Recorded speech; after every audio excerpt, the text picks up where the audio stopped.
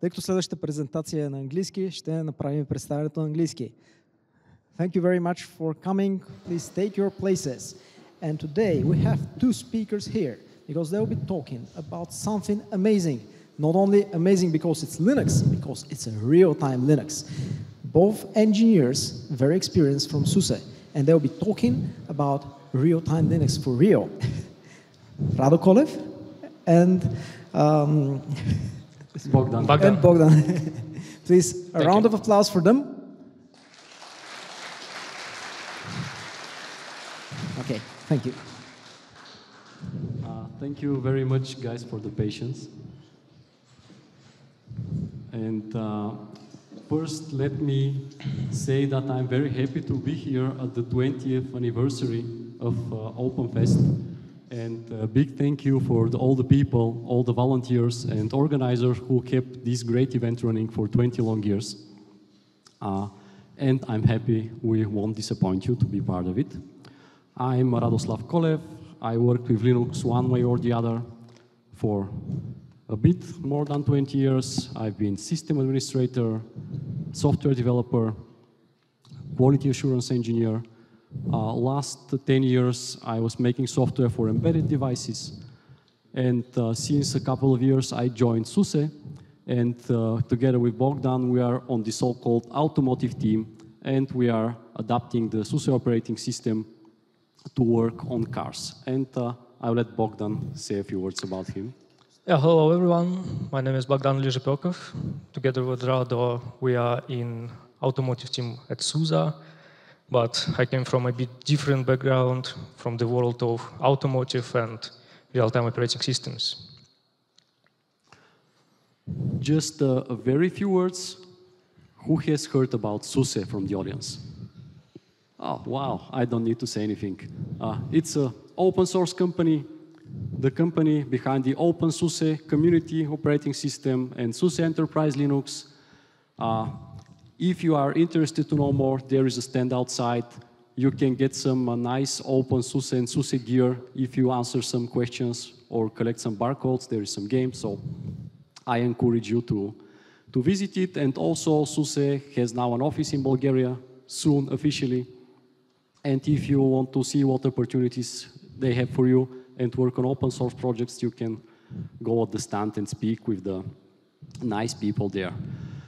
Uh, and now I want to start by asking you one more question. And it's a little bit a controversial thing, like people have very strong uh, beliefs which side you should peel the banana uh, or which is the best text editor. So this is kind of such a question. And the question is, what is the correct way to stay when going on the escalator? And there is one option, A, which is that everybody stays on both sides. And there is, ah, well, my slide is broken for some reason. uh, so one option A is that there should not be people on the left side, only one or two of them. And option B, there is people everywhere. Uh, so please, if you always stay on the right and leave the left lane free, raise your hand.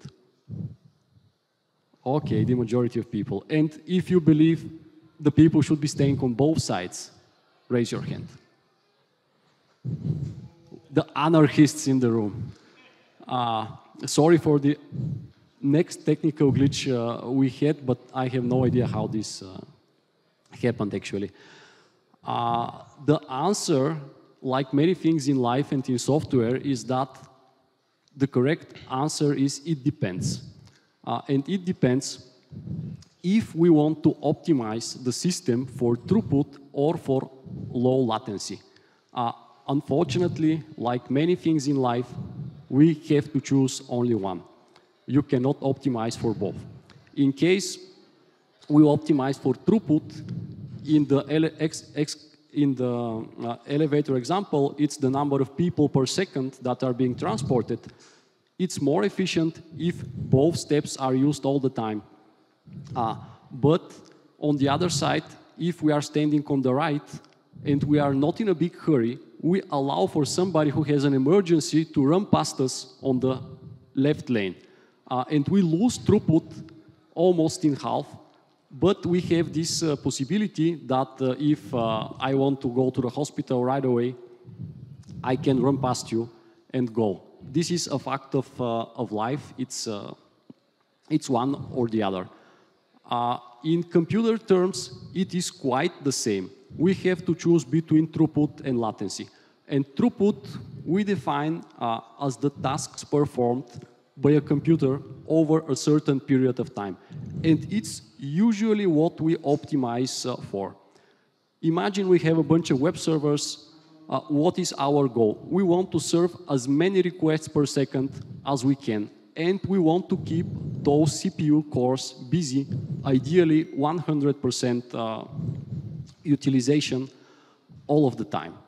Uh, we are not really concerned if there is five people making requests at our web server at the same time, who gets his request answered first, or if one is delayed by a fraction of a second. So uh, normally operating systems like Linux are optimized for high throughput and overall the operating system, the hardware, everything, uh, the usual scenario, is we care only about high throughput and high utilization for the expensive hardware uh, that we paid for. Uh, on the contrary, the latency, it is the delay between cause and effect, the, the reaction time of our system, uh, how long it will take when there is some external uh, stimulus to our system for it to be able to at least start reacting to it. The reaction itself, maybe if it is uh, contains some complex computation, uh, we don't account for it now, but it's the time between an external event and the system switches to the software side where it starts processing uh, this event. Uh, and this is uh, special for real-time systems. We care much more about low latency and consistent latency, not even about uh, lowest possible latency, but about consistent latency than about throughput. And we sacrifice uh, some throughput in order to gain this uh, latency. Uh, so many people, when they hear the term real time, they ask, so will it make my system faster if I turn this option? And the answer is sadly no. It will actually make it slower if we consider uh, by throughput, by a bit, not too much. Uh, but why this is so? Well, context switching takes time. When you tell the CPU to switch from one task to the other more urgent one, uh, this is not a free operation. All register needs to be saved on the stack. Uh, most probably, the caches in the CPU will not be of much use when you switch to the new process. So all this uh, slows the overall throughput down, but you gain uh, the low latency. And also real-time systems uh, are not always obsessed with uh, full resource utilization. A little bit similar. I know we are in Bulgaria and this, uh, this uh, analogy may not be making sense to everyone, but uh, in the highway we have a third lane, the emergency lane. So when there is a traffic jam, uh, the ambulance can speed by. So this is a low latency situation, and we are sacrificing uh, one third of throughput capacity possible, theoretically, of the highway, just to have this possibility. Uh, and it's the same here. Sometimes we will uh, dedicate a CPU core for a single real-time task that we want to handle with low latency, and there will be uh, probably most of the time this core will be uh, idling and not busy at all.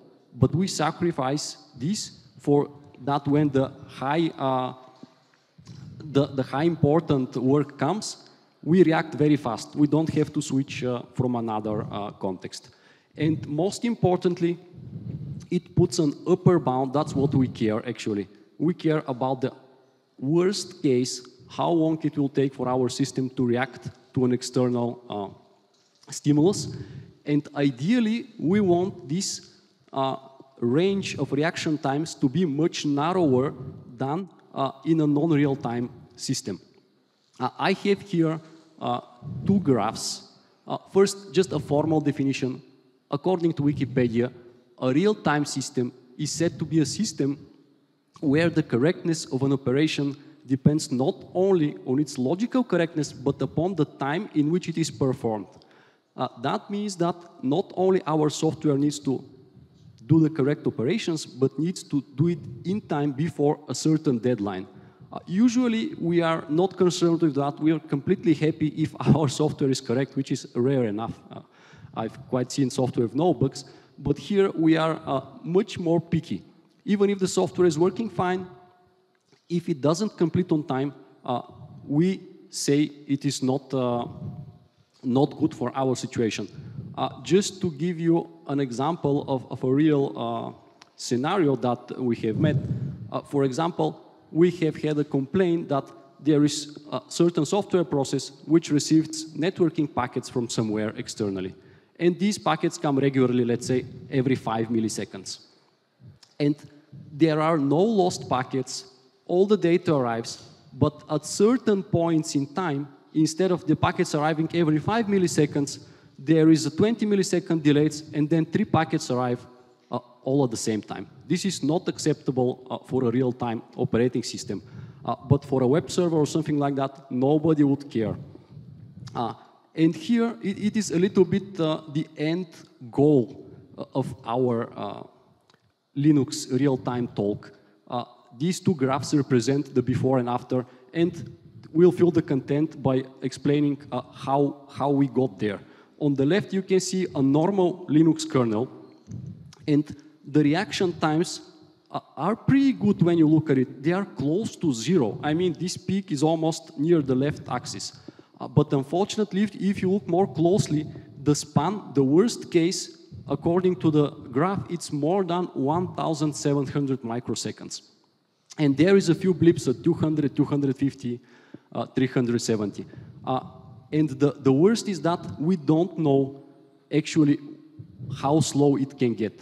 Uh, for example, your system is overloaded, especially if it starts swapping or something like that, you can get basically unlimited uh, reaction time.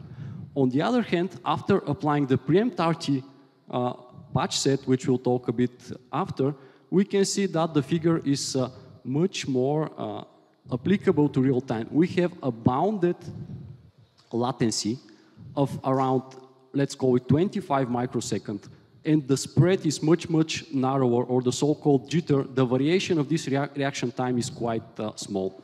So this is what uh, we are aiming for, and the question is, uh, how do we get there? Uh,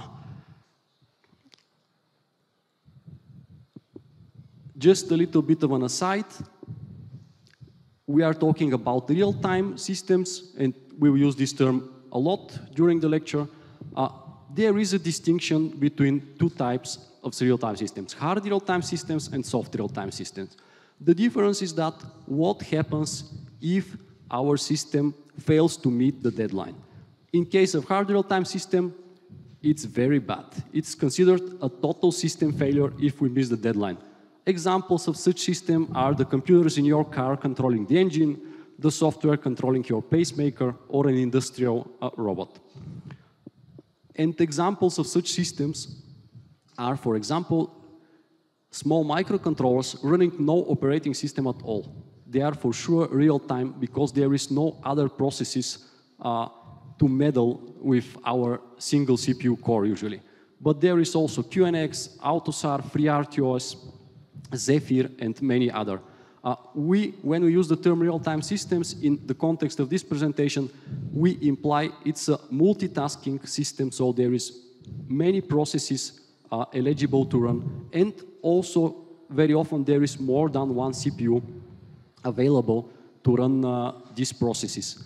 Uh, and in case of Linux, it's not there yet for the hard real-time system. I wouldn't trust my life on Linux alone it is more the case of a soft real-time system where missing a deadline is not pleasant, but nobody is going to die. Example of such system is audio and video conversations or streaming. Every one of us has experienced a glitches uh, watching uh, their streaming video or talking with somebody on a phone. But it's not a big disaster. We can ask the person to repeat what he said. And examples of such system are real-time Linux, that is the topic of this talk, Windows 10, IoT, uh, and others. So have in mind that Linux has real-time capabilities, but in order uh, to meet the fail-safe guarantees, usually you would need an external system to monitor it and uh, provide a safe reaction in case it doesn't meet uh, the deadline. And to understand how we can get Linux from high latency, unpredictable system, as was on the left graph on the previous slide, to a bound latency, low jitter, high, re high responsive reaction time system, uh, we need to first understand some basic concepts about how multitasking operating systems and Linux in particular work. And then we'll see how the preempt RT patch set changes some of these operations to make it much more friendly for the RTK. So I'll give uh, the symbolic token to Bogdan, who can do us a very quick intro into the Linux OS concepts. Yeah, thank you. Before we jump to preempt RT, we should uh, go briefly over some classic uh, concepts of operating system. Uh, there is a standard separation between kernel and the user space. Uh, it is not only for Linux, but it is also uh, uh, true for other operating systems. You can think of user space as a kind of isolation of user processes from the core functionality, functionality of the operating system itself. When your code is executed in kernel mode, uh, the CPU uh, is in some special state called privilege mode, where you can access any memory everywhere, including kernel and user space. Uh, but when you're operating in user space, you can refer to the memory blocks which are allocated specifically for your process. Yeah, interrupts. Also very important thing. Uh, just to simplify, you can think of interrupts. Uh, it's like uh, signals that are sent by hardware to CPU when the hardware needs the CPU attention, when it needs some CPU time. Uh, interrupt handlers are usually implemented in two major parts, so-called top half and bottom half. Top half is a piece of code which is really very, very small, as small as possible, and it is executed right away when the interrupt comes. And the rest of the stuff is executed in bottom half in any time when the scheduler of operating system believes it's handy to do. Concept of preemption. The preemption, one of the most important thing for uh, real-time operating system. There is no way to build real-time operating system without preemption.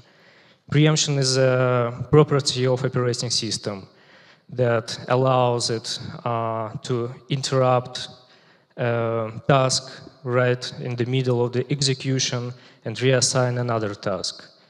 Because obviously you want uh, your real-time task to be executed uh, before the deadline comes.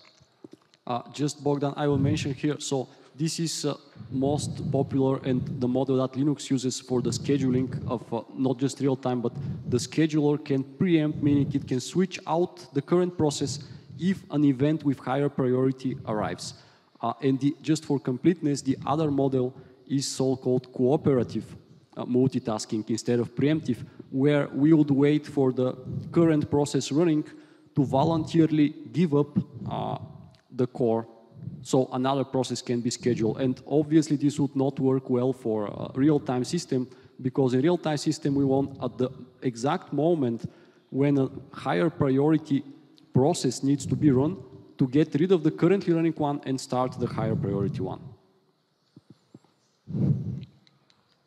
Preemption models. Uh, let's consider two traditional preemption models that were available before uh, preempt RT patch set. First of all, preempt none and uh, preempt voluntary. Preempt none is uh, I think, absolutely disaster for RT applications because RT code, sorry, kernel code is not interruptible at all. Uh, but there are some special places in the kernel where uh, the scheduler is invoked. Those are system calls and interrupts. Voluntary is a bit better uh, from RT point of view.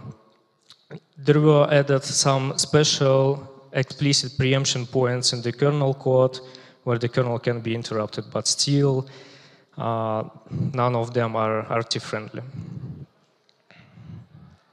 Yeah, kernel locks.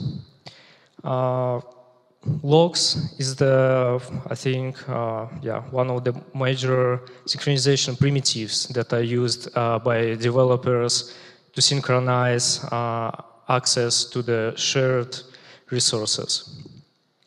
There are two major kinds of uh, locks, spinning locks and sleeping locks. Uh, just looking ahead, spinning locks are absolutely not RT friendly because when we are when we are holding the spinning locks, preemption is disabled. Uh, spinning locks behave in a way that when uh, your code achieves the lock and the lock is uh, not freed, the code will be uh, spinning in the same place over and over again, trying to check if, if the lock is freed. And when it's freed, it, uh, it will reach the, uh, the, the, shared resource. Well, sleeping lock, when it reaches the shared resource which is locked, it will call automatically the schedule that will uh, reassign the task if there are yeah more more more more more important task more uh, to, to, execute. I can make a very uh, basic analogy, which would be, I think, familiar to anybody who has a, small child or has traveled with one in a car. Basically, a spinning lock is equivalent to the child asking all the way, are we there yet? Are we there yet? Are we there yet? It's what the CPU is doing with the spinning lock. It is checking all the time, is this lock free? Is the in a let's say in one loop and only break out of the loop if the resource that this lock hold is freed. Uh, but the problem is that during all this time, this CPU core is taken and no other process can be scheduled on it. So if a lower priority process takes a spinning lock, it cannot get uh, preempted in the normal Linux kernel, uh, even if a higher priority external event comes. And this will cause a big delay in the processing of the important event uh, we care about. And the sleeping wonk on the other side would be equivalent to the baby saying, okay, I'm going to sleep, please wake me up when we arrive. So you have very calm uh, journey in the car. And in this case, the sleeping uh, process immediately when it sees the resource is not available right now, it frees the CPU and the scheduler is free to schedule another process. So there is no big delay until the resource is freed. Uh, what we discussed so far, Bogdan's uh, OS concepts explanation, is the standard Linux kernel. Uh, and as we see, it is at, not at all uh, suitable for a real-time system. Uh, some people really wanted to try to make Linux real time. Uh, and we have to ask the question, but why? Why would we want to make Linux real time when Linux was never designed in the first place as a real time system? So it's very complicated to retrofit a, a general purpose OS and make it real time. Uh, and there are good enough reasons. The biggest reason is that Linux is a very popular operating system with very good network stack, uh, with Unix-like uh, structure, which a lot of people uh, are familiar with, and it would be great instead of using an obscure, specialized, real-time operating system, we could just somehow make Linux uh, able to handle real-time uh, tasks. By the way, just to mention that uh, this is, although it sounded crazy at the time when the first attempts were made, uh, this is not such a rare, uh, rare development of things for Linux. Linux was do you know how many architectures Linux supports now? But just a ballpark.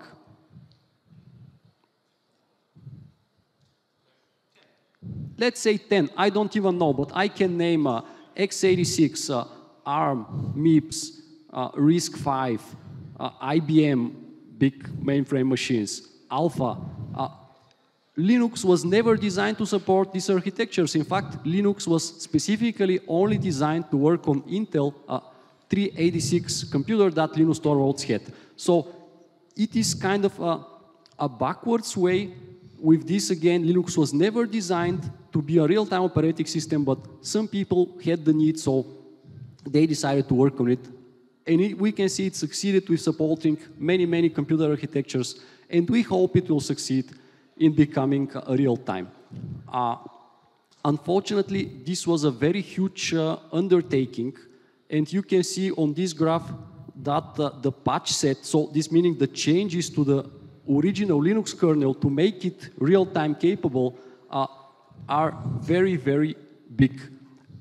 And uh, to make matters even worse, the Linux kernel is a very fast-moving target. Uh, and to keep these patches applying cleanly to every new release is a huge amount of work. That's why the maintainers behind this project didn't even attempt to keep it compatible with every new Linux version uh, coming out, but they only take uh, more long-term supported ones. Uh, and just for those, they adapt uh, the patches to it. Uh, the good news is that little by little, with the years, parts of the preempt RT patch set have been making their way into the upstream uh, Linux kernel. Uh, there is this running joke, it was, I don't know, 20 years ago, if you've heard about the, who has heard about the year of the Linux desktop? That next year, it will be the year of the Linux desktop. Well, I don't know if we are at the Linux desktop yet, and there is this same joke about the preempt RT patch set. For 10 years now, in every conference or Linux Weekly news article, somebody says, this year the patch will be merged into the official Linux kernel. And we are not there yet. Uh, but we are almost there. I would say 90% of the patch has made it into the mainline Linux. And there is actually one big hurdle uh, remaining. And surprisingly, it is not some complicated locking mechanism or the scheduler or something like that. Uh, the big hurdle remaining to be handled is the printk system in the kernel. This is the like printf equivalent that brings the messages on your screen. But it has turned surprisingly that it's very hard to make this uh, system real-time friendly. Uh, but there are smart people working on it. Hopefully, if this uh, gets resolved, the Linux kernel will not need these patches applied anymore to be real-time capable. It will come uh, built in. Uh, and what does actually preempt RT bring to the Linux kernel? Uh, actually, this option, I think it's now already in the vanilla kernel, but it brings a new, uh, a new scheduler, a new option which called fully preemptible kernel. Uh, the big problem uh, is that before the kernel code itself was kind of like uh, treating user space or our application code as a second class citizens. Uh, the application code could always be preempted by the scheduler. The scheduler could always switch one process for the other, but the kernel code itself was not preemptable. And if the kernel is doing something, uh, in a lot of cases, the application code waits until the kernel finishes his job, and then it can get scheduled. And this is what caused the big delays uh, in the non-real-time capable Linux. And this config option uh, makes not 100%, but almost all parts of the kernel preemptable, meaning that even if the system is running currently code inside the kernel, if a high priority user space process needs to run, this code will be preempted, and on this CPU will be scheduled the high priority user space uh, code. How this is achieved? The two big things are that all the spinning locks which uh, uh, hoard a CPU core are converted to sleeping locks. This means that all these locks no longer take full control of the CPU core and can be immediately switched for more important uh, tasks. And the second part is that almost all interrupt handlers are converted to so-called threaded interrupt handlers. Uh, because in the normal Linux kernel, interrupt code is not preemptible. If you are inside an interrupt handler, you cannot uh, remove it from the currently running CPU and put another process. And this change instead splits every interrupt into a very small part which just starts a new kernel thread and all the interrupt work is done inside this kernel thread. And this kernel thread can be uh, preempted. So there are still very, very few critical sections in the kernel which are not preemptible, but they are highly optimized to take very small amount of time, so we don't, uh, we don't suffer big uh, delays because of it. And it introduced a lot of new configuration options to make our system behave the way it should. And Bogdan will give us some more details about them. Yeah, just few details uh, that should be kept in mind when you're developing RT application. Because when you apply the preempt RT patch, it doesn't mean that uh, your application magically becomes uh, real-time friendly or real-time. Uh, first thing is the CPU affinity and CPU isolation. Uh, there is a possibility in Linux to pin your process to a certain core or certain cores. Uh, that will uh, reduce latencies because there will be no migration from one core to another. And uh, obviously, you, uh, yeah, this is your choice when you're developing the RT application. But there is another thing that uh, while your while your process is pinned, of course, another process can migrate to the same CPU and uh, concurrent with uh, your process for the CPU time. And for this, you can use the CPU isolation. You can dedicate core or several cores for your process, and uh, nothing else will be running there. IRQ affinity, very similar thing. You can do uh, the same trick for uh, interrupt handlers. You can pin interrupt handlers to the CPU or allocate some CPU cores for uh, interrupt handlers that are important for you. It is very important to keep in mind uh, because there are. Sorry, Radu, can you go back? Yes. yeah, a few more, few more words. Uh, it is very important to keep in mind that uh, there are very resource-consuming uh, interrupts, for example, network interrupts. And uh, certainly you don't want such an interrupt to be, uh, to be uh, handled at the same CPU together with your running application. So keep in mind and plan where, uh, where those things should be running. Scheduling classes. Uh, there are two kinds of scheduling classes, non-RT and RT ones. Uh, the biggest difference between them is that when you uh, set uh, RT scheduling class to your process, you also have to define the priority. The greater priority, the better. And uh, as long as uh, all uh, tasks have uh, different priorities. The, the scheduling class uh, doesn't matter. It comes into play when there are two or more tasks with the same priority, and then scheduler will be defined based on the defined scheduling class. Uh, so we patched our kernel with the preempt RT patched chosen the preempt RT option, did all the configs that Bogdan advised us, we pinned the process to a certain CPU core, we set the real-time priority, etc. But unfortunately, this is still not enough for our code to have real-time uh, low latency response. Uh, if you are writing kernel code, this is just a remark, what you should avoid. You should avoid using a raw spin lock. A raw spin lock is a lock type which even under the real-time patch is spinning because unfortunately there are very few places where we cannot get away with exchanging a, a, spinning lock for a sleeping lock. But you should use this only where it's really needed.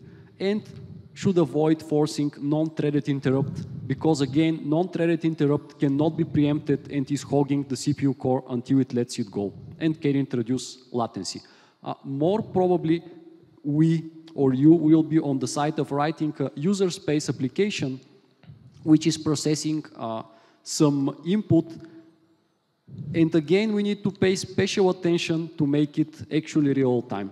Uh, for example, it is very important to do proper initialization and to do all initialization at the start of the process, which uh, has the advantage that this initialization doesn't have to be real time itself. So when we first power up the device and launch this application, uh, we don't care if it's real time usually right away. We can allow for a brief period to go through what you should do. You should pre-allocate, lock, and pre-fault all the memory this application will require. Because, for example, calling malloc to allocate memory, uh, if you have done it, you didn't think how long it takes, and usually it's quite fast. The operating system returns memory uh, if it has available quickly. But if the system is running for a long time, the free memory can get fragmented and if you require a, a big chunk of memory, the operating system suddenly will take a lot of time shuffling memory around to make space for the big chunk you requested. And this will kill your latency. So in real-time uh, application, you request all the memory upfront. But this is not enough. You have to lock it saying, this memory, I want it for myself, I'm not giving it up and you have to pre-fault it, meaning you have to access the memory at least once because those of you who are familiar with how uh, the virtual memory system works would know that when you request a memory, you get some virtual address, but there is no physical memory behind it bound yet. When you do the first access, it will cause a page fault, and then the memory management unit will fill in some table which will say this virtual address is mapped to this physical address. And this operation takes time. So if you don't access your memory at least one, you will be in for a surprise when you try to access some memory during your very critical section which needs to happen in microseconds and suddenly generates a page fault and you have a big uh, delay. Uh, you should, of course, configure and create all the threads. You should configure the scheduling uh, parameters and the CPU affinity and isolation that uh, Bogdan talked about. But even if we do everything perfectly and there is no bug in the Linux kernel and the real-time patches, unfortunately, the real world has more surprises for us. And this surprise is called hardware. All the software runs on some piece of hardware. And uh, hardware was, again, not designed for real time, with real time in mind it was optimized for the throughput, uh, high throughput case. Uh, there are such things called non-maskable interrupts and low-level firmware inside the UEFI or, or before BIOS of your motherboard, which can actually stop the CPU and start running some code which is beyond the control of the operating system at all. And uh, unfortunately, we know nothing about that. Usually it's a secret of the motherboard manufacturer what we can do is we can run some software. Uh, we'll have some uh, hopefully useful links on the next slide, which can measure this and detect if our current piece of hardware has such uh, secret functions. Uh, also, what uh, is not friendly for real time, it's low power. We have to give up these two. All kind of power saving functions like lowering the CPU frequency, uh, or putting the CPU into idle states causes delays because changing this state from one to the other takes time and we don't want to have to do this. Uh, again, another thing, optimizing high throughput, the so-called hyper-threading. Uh, it turned out that actually the CPU core, the, the arithmetic and logical unit, uh, is not easily kept busy 100% of the time. Uh, the infrastructure around it, the instruction decoders, the fetchers, and so on are rather slow. So Intel came up with the idea, we have one actually a CPU core, but we'll show you two virtual ones. Uh, so we can keep the one core busy by presenting the two virtual ones. But this again uh, is bad for real time because a process running on the virtual uh, sibling of your core can influence uh, your process. So it's best recommended to disable hyperthreading and give up some throughput again for low latency. And another case I've mentioned here, just for completeness, in some system, uh, it's called non-uniform memory architecture. If there are multiple memory banks and multiple CPUs, some CPUs will have fast access to some memory banks and slower access to the other. And the other CPU will have fast access to the banks close to it and slower to the other. So if you don't take this into account where you allocate the memory and on which CPU is pinned uh, your process, you can get additional delays if it's trying to access the memory, uh, which lives further away from this uh, CPU. Uh, so I guess the moral of the story is that uh, real time is not easy uh, to get right. Uh, and I will just give some examples because we don't uh, usually think about it, what is real time. For example, imagine I, how many of you have a 3D printer at home? Okay, I expected more, but still, there is some people. If we control this 3D printer with Linux, uh, and there is, uh, usually these printers have switches to limit the positions so the carriage doesn't jump into one side. Uh, and this, if it's controlled by a Linux system, we should hopefully be using a real-time enabled one. Because when the carriage goes to one way, touches this switch, it generates a signal that the carriage has reached the end of its travel and this signal generates an interrupt, and we want this interrupt handled immediately, not after 20 milliseconds when maybe the current through the motor caused it to, to burn or to break the mechanical parts uh, of our system. Uh, and another aspect is that even if we don't have such examples of external inputs, even if we want to generate precise events within our system, uh, we need real-time capability. For example, if somebody of you has played with microcontrollers uh, or the Raspberry Pi kind of things, with the Raspberry Pi and Linux, it's not easy to generate precise uh, timing of some signals on a GPIO pin. Again, because you don't know how the scheduler reacts if it's a non-real-time system. And uh, if you want to generate fast, exactly timed signals, you would need uh, real-time enabled uh, Linux uh, kernel.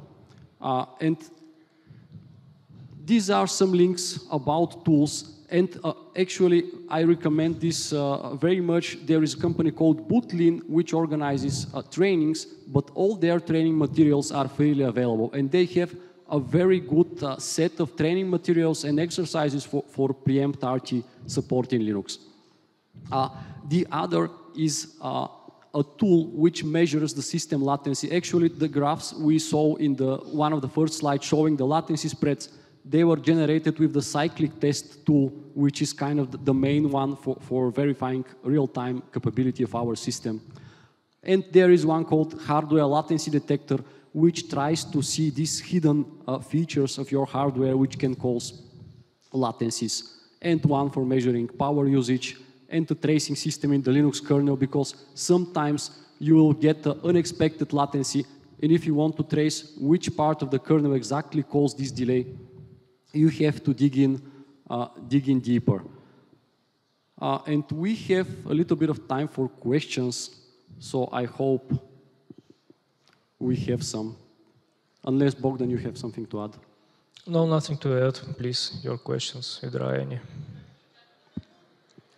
Okay, first a round of applause, and I see a question there.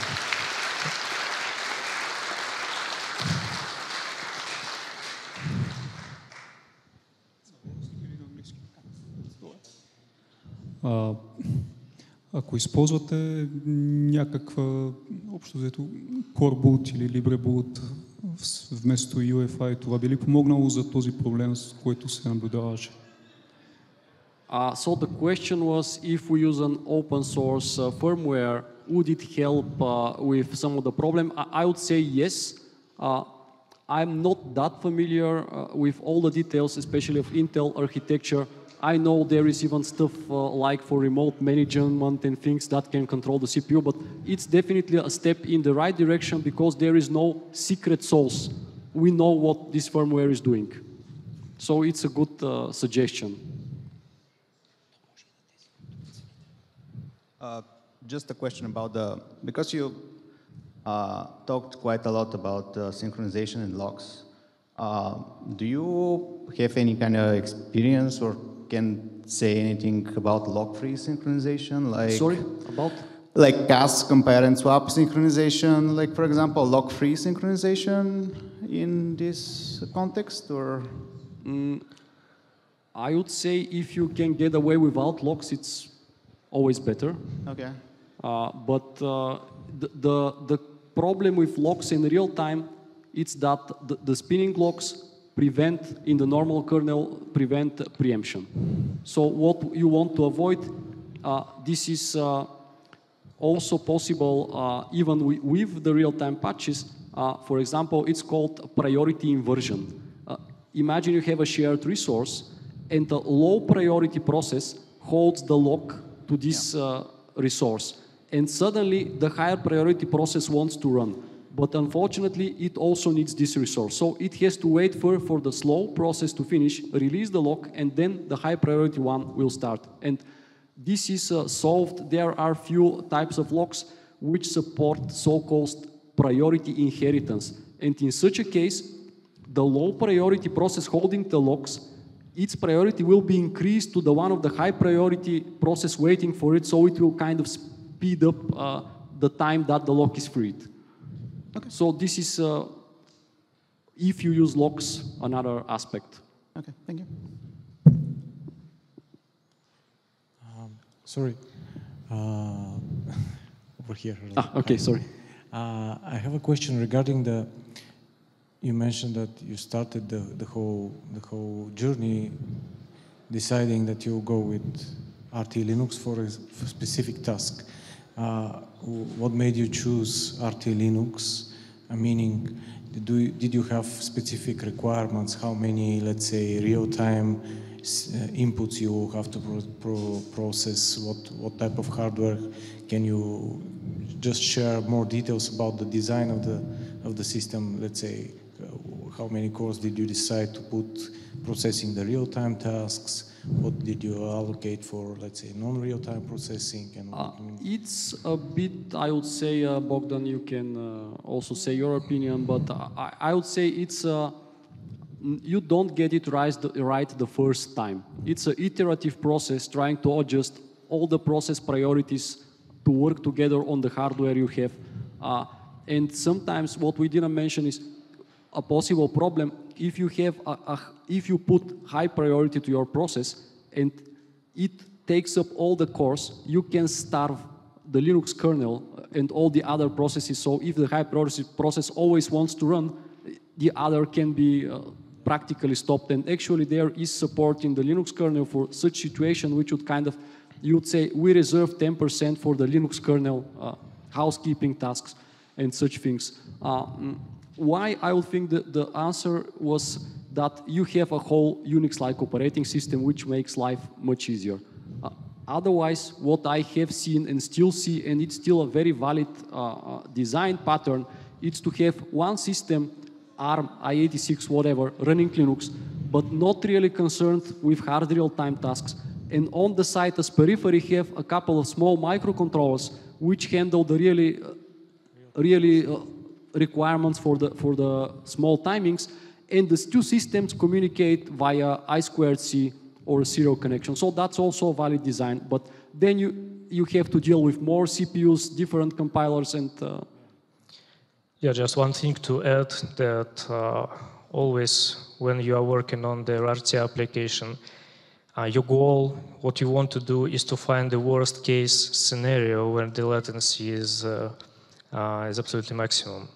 And unfortunately, as far as I understand, as far as I know, there is no uh, mathematical way to calculate this path. There is only empirical testing that you can run against your application to see if it works or not. Yeah. And we have time for one last question. It's over here. So, as you might probably guess, how do you deal with complex instruction set processors? Because uh, small microcontrollers that run FreeRTOS and things like that use uh, RISC architectures, and their instructions are usually defined how much time they take. But if you have a x86 processor with AVX instructions and you code, code two vector operations, they run in some undefined amount of time. How do you deal with that? Uh, I wouldn't say we go that uh, low level. It's true that for a simple microcontroller, knowing each instruction takes a certain amount of cycles, you can make the very precise, predictable uh, calculation how long this operation will, will take. Uh, but uh, in, in our case, dealing with Intel, uh, it's, as Bogdan said, you use these measurement tools to see what are, what are the latencies. And you cannot change the microcode or, or examine it. I, haven't gone at least that deep. Okay, so no x86 uh, based cars? No, example. actually, there are x86 based cars on the road now. Right. But it's, it's uh, as Bogdan said, you care about the worst case latency. Because even in my graphs in the first uh, page, you could see that the non-real time kernel had latencies close to zero, but it was just you got lucky this time, but you cannot rely that you will get lucky. In fact, you want to find out what is the worst possible time that it will take. And you put this boundary, and if it is okay for your system, it's good. So even with Intel processor, when you, what the, the strategy is, you put maximum load on the system, you run the measurements, and you see the maximal reaction times. And even if the instruction can take different amount of cycles, if it's within your time budget, it's okay. Okay, thank you. Uh, unfortunately, we kind of run out of time 15 minutes ago, so I know that there are some other questions. Our speakers uh, will be around here, so if you talk to Bogdan and Rado, please do it in the hall. Yes, we'll be in the in the SUSE booth outside, and I just want to tell you that you will never get your software right the first time or the second time, uh, and you will need a way to update your software in an embedded system. And just after this lecture is finished, our helpful host Leon will present how can we update the software in embedded systems.